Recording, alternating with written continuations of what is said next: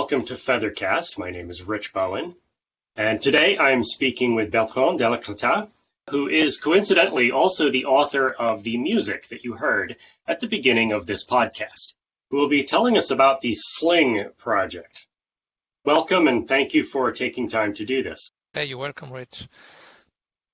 Apache Sling, according to the website, is a framework for RESTful web applications based on extensible content tree. I was wondering if you could translate that for us. Tell us what that means. Who would use something like this, and what what does it do? Right.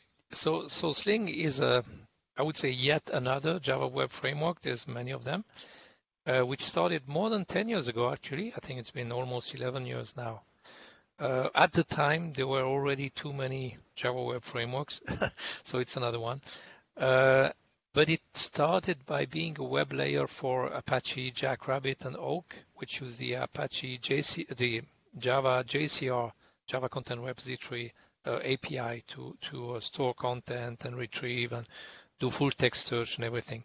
So it's really oriented toward creating content management uh, applications and that's that's how we started using it. It was donated to Apache by Day Software, who was my employer at the time, uh, and was doing a, a, content management, large scale, industrial scale, I would say, content management system, and that's where it comes from. It's uh, one of this one of its uh, strong point is that it's extremely modular. It's based on the OSGI module system, so you can replace pretty much everything if you don't like it or want a different variant, you can replace any component. We have uh, more than 300 Git, rep Git repositories in the Sling project, which is unusual, but it's, it's due to the to the extreme modularity. And each each module has its own repository then? Yep, that's the so uh, 11 years ago we were on Subversion, and when we moved to Git, the question was, do we do a monorepo? Do we do uh, many of them? Mm-hmm. And it, we did many of them, and it's been working pretty well because some of these modules are really core things that you know are really golden. You have to be very careful. Others are just contributions that we we update on a best effort basis. So it's, it's kind of very nice to have this differentiate, you know, to have lots of modules, lots of repositories, and then each of them can live its own life. I, I, don't know if you have an answer to this since it was donated from a from an external company, but what's the origin of the name? Oh yeah, I do have an answer. um, so it's from the it's on the Sling website actually. Uh, it was proposed by Roy Fielding. So Roy is one of our colleagues. He was uh, he was chief scientist of Day Software at the time. That was his title. And he explained, he said that the name is biblical in nature. It's based on the story of David who uh, used a sling, weapon, to slay the giant Goliath. and um, our our CTO, uh, David Nuescheler, who was CTO of Day Software at the time, uh, is called David, obviously. So he said that's our David's uh, favorite weapon. All right. A sling, yeah, and a sling is a, is the simplest device for delivering content very fast. That's okay. kind of the idea. So yeah, there, there is a story behind the name. When a project is this this uh, mature, it's been around this long, it's often a challenge for people to figure out, uh, you know, when it's when it's feature complete. How does somebody get involved? What sort of opportunities are there for for people to get involved in this project? Mm. Actually, it's it's surprisingly dynamic given given the project's age.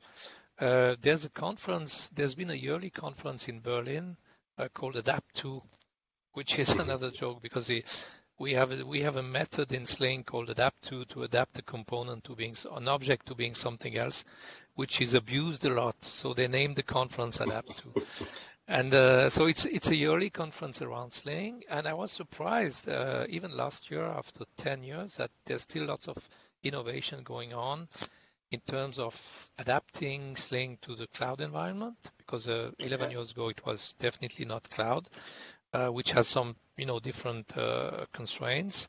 Improving the performance, making things easier, adapting to to the to the evol- evolving ways of doing things. So there's there's lots of possibilities for. Uh, uh, for example, Sling uses uh, scripts for rendering pages and that stuff which used to be stored alongside the content in the, the in the content repository in the database if you mm-hmm. want.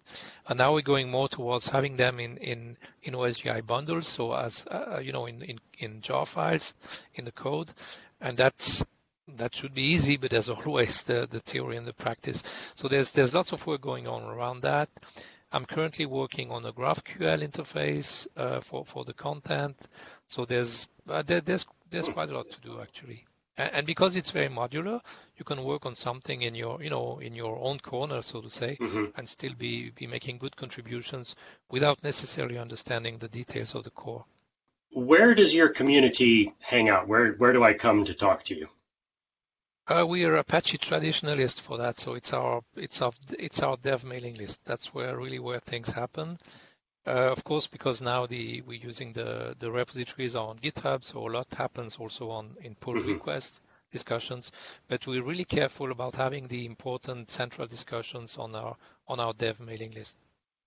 It's a, it's a pretty small community. It's about 20 active committers, so the mailing list works quite well for that. And are you still uh, tightly connected with the Jackrabbit community? Yes. Yeah. Even though it's it's evolved uh, today, it's totally possible to run Sling without it and uh, use other storage mechanisms. But that's where our, our yeah our history comes from.